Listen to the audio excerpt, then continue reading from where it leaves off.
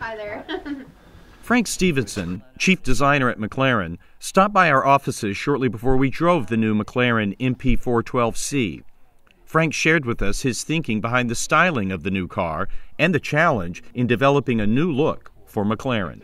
Because McLaren's all about racing and technology, and it's, it's military aircraft technology that uh, is not designed to sell, it's designed for what it has to do.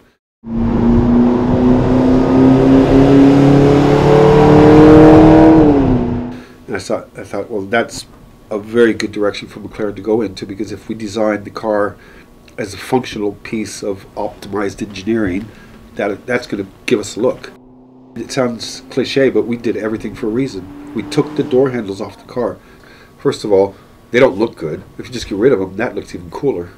You know, no air prob- uh, aerodynamic problems, no worries about quality or anything like that. The headlights, which are sort of the eyes of the soul, or you know, to the soul, we gave it sort of the look of the actual, actual McLaren speed mark, uh, that logo that we have, and uh, and for the actual headlights themselves, we put it into the top where you need a bit of cooling. Uh, we took some inspiration from the Formula One car, where on the back of the uh, of the body where the engine and the in- exhaust parts are at, they have these almost like shark gills. Those are on top of the headlights to let air out. We, we've let the light bleed through the daylight running lamps into those slits, so that so if you look in the back view mirror, you know just by the lamps it's a, it's a McLaren coming up. The front radiators, which most car companies put, sports car companies put in the front, are quite big. We took those radiators out of the front and we moved them to the back of the car, and we put our very small radiators normally fitted in the back of the car. We put those in the front. So what we've been able to do is squash the front front end down even more. But the main radiators, when you put them in the back, the disadvantage is that if you want to make those effective for such a high-powered engine, you got to make sure they get enough air. So what they do is they put them usually in, at 90 degrees to the wind, or very close to 90 degrees, so you get the full impact of the wind. Uh, that makes the car wider, which increases weight. Uh, and it's not always true that a wide car is better.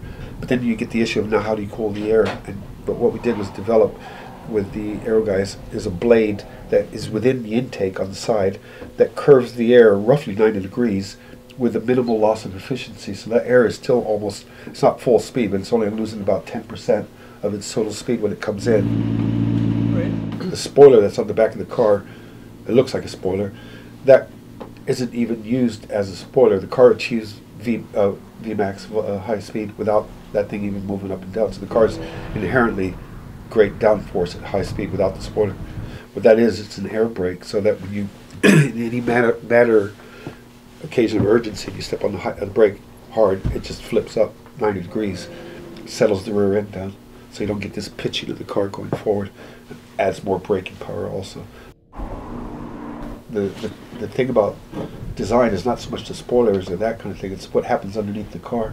The aero is really important underneath the car. That's what gives you that sucking down, glued to the road feeling. Uh, the downforce, and you create that with the diffuser in the back of the, the Venturi. The larger the distance between the ground and the top of the diffuser, the more the more difference you can get between the air that comes underneath the car and where it exits. That that variation of proportion, the bigger it is, the more suction you get. So we, we tried to keep the diffuser up as high as possible.